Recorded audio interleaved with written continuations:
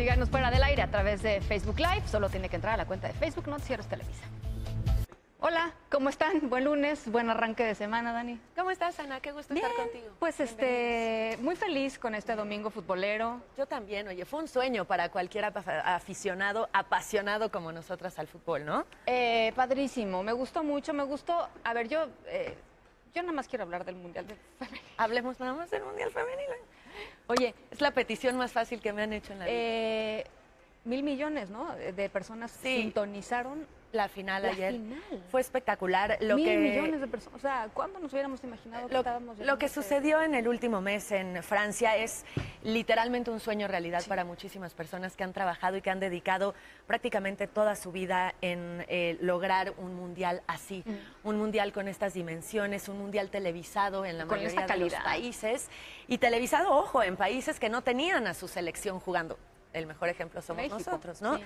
A pesar de que hay serios problemas todavía para vender el fútbol femenino, y esa es una realidad, eh, el fútbol también es un negocio y las televisoras, eh, pues lo que necesitan son patrocinadores que avalen y que sustenten las transmisiones, pues eh, por medio de televisiones de paga, Televisa mismo eh, transmitió todos los partidos del Mundial, y eso es un gran avance, sin contar la calidad en la cancha que fue. A mí, me, a mí me sorprendió mucho porque antes, no sé si ustedes lo recuerdan y si son seguidores del fútbol femenil, el fútbol femenil era todavía un, un fútbol lento, ¿no? De pronto pues, veías los partidos y, y no lo... Hoy ves un partido de fútbol de mujeres y es, o sea, es, un- es una cuestión de poder, de fuerza, de velocidad, o sea, se ha ido profesionalizando increíblemente y claro, te das cuenta de que los países que le han invertido a sus, a sus chicas, ¿no? a sus niñas desde pequeñas, que han profesionalizado, digamos, todo el proceso de reclutamiento, pues están ahí.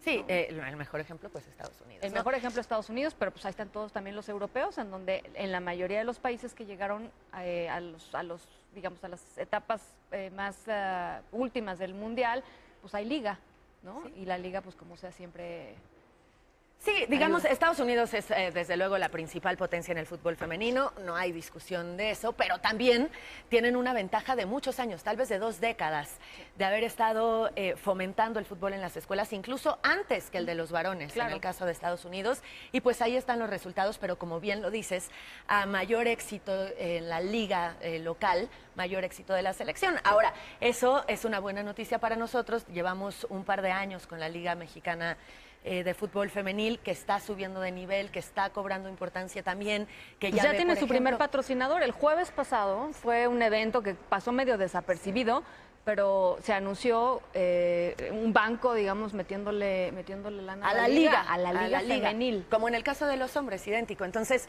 eso es una buena cosa porque en teoría tendría que ir creciendo poco a poco el fútbol femenino.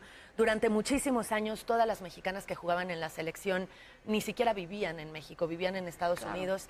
Y entonces, eh, pues todo parece indicar que en cuatro años tendremos un, un fútbol mexicano mucho más fortalecido y ojalá que estemos hablando de un mundial tan exitoso Ojalá. con una selección allá. Pues esperemos que lo hayan disfrutado, si es que lo vieron, ojalá que hayan tenido un lindo fin de semana y que sea una semana llena de... ¿Qué le deseamos a la gente? Pues de- Aventura y emoción. De aventura y emoción en este verano. Oye, y lo de este Equal. Pay, ya hablaremos mañana Ah, de eso. sí, pero qué bien. Bueno, nos vemos ahorita, perdón, nos vemos ahorita en- al aire.